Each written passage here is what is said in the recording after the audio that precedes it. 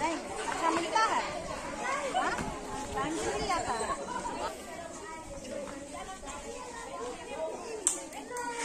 वीरपुर में मंगलवार को नौला पंचायत की मुखिया ऋचा देवी ने उत्क्रमित मध्य विद्यालय संस्कृत नौला का औचक निरीक्षण किया।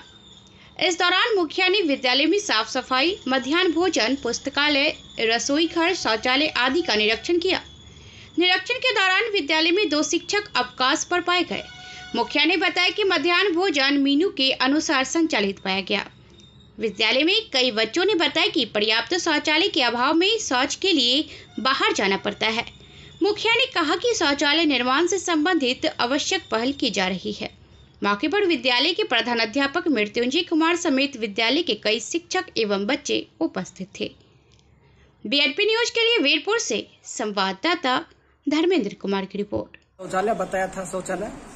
सिर्फ़ लड़का का शौचालय यहाँ पे। दिक्कत होता है? हाँ। अच्छा अच्छा। कहाँ जाते हो शौचालय? तब बाँध पे जाना पड़ जाता है। तो सर जी शिकायत इस संबंध में किए हो कि नहीं? नहीं। नहीं किए क्या नाम हुआ तुम्हारा? माधव कुमार। अच्छा किस क्लास में? सेवन। शौचालय तो ऑलरेडी स्वीकृत होके अ, छुट्टी पे हैं। और दो मैडम हमको मिली दस बजे में मेरे घर के पास। इस वजह से हमको अचानक स्कूल पे आना पड़ा कि मतलब पता तो करें कि वो छुट्टी पे है या छुट्टी ऐसे जा रही हैं इस वजह से। और अच्छा क्या लगा कि आप यहाँ अच्छा लगा कि बच्चों से मिलके ये संतुष्टि मिला कि खाना वाना बच्चा बच्चे को अच्छा मिल रहा है। शौचालय का प्रॉब्लम बच्चा बताया है जिसपे हम लोग वर्क करेंगे। रसोई घर का क्या स्थिति है? रसोई घर गंदा मिला हमको इसलिए हम उनको अल्टीमेटम अभी दे के जा रहे हैं। इसको पहले सफ़ाई करके उसके बाद आप खाना बनाइए क्योंकि बच्चा खाना खाता उस उस मामले में कोई कम्प्रोमाइज नहीं किया जाएगा।